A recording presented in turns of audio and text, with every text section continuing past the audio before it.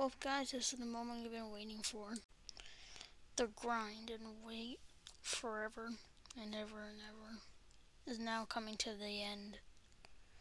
The end is near for it, and we will get it tonight. Goodbye, old TDS, and also the beta. This old lobby will be missed very, very much all the new stuff. Wait, is that a moderator? Uh, who, who's running around here? Oh, no, mind, just random people. Okay, cool, whatever. Anyways, um, anyways, back to the dramatic things. Here we are, the new TDS, which will be remained forever the new TDS.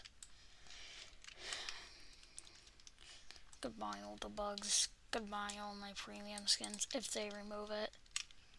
Goodbye my premium gems I somewhat grinded for for a long time. Goodbye to everything. The wait is now over.